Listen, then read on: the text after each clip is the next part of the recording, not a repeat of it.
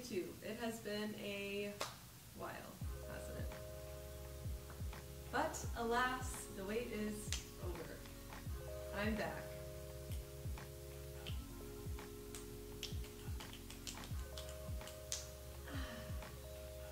And today we are starting off strong with an updated jeans try-on haul.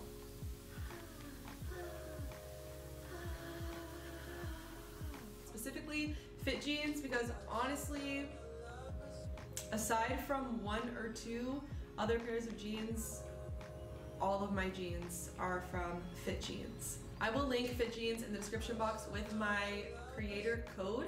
The code will give you 10% off at checkout on top of whatever other sales they have going on. So help yourself out.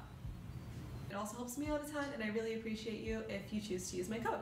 Also, make sure that you are following all my socials. I'm very active on everything. So if you miss me, then you can always find me on Instagram, TikTok, Twitch. But seriously, I am very, very, very excited to be making YouTube videos again. I'm going to be posting a lot more try-on hauls, probably some reaction videos, maybe even dipping back into some fitness cooking content if you guys enjoyed that.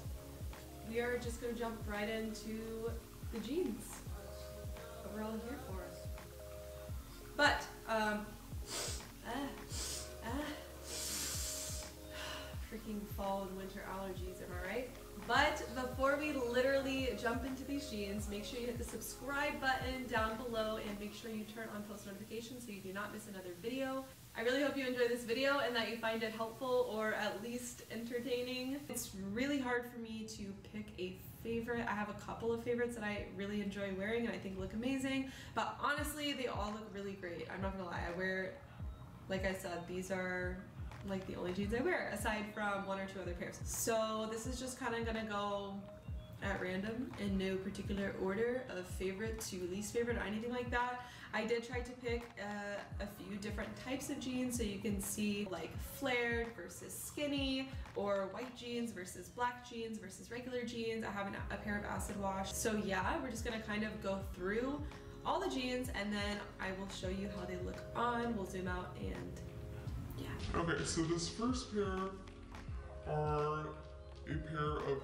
non-white, um, non-white, non-ripped white jeans, and it's hard to tell because the camera is not, um, what's it called? Vertical. Um, but they're flared at the bottom. These are size extra small. Most of these, the jeans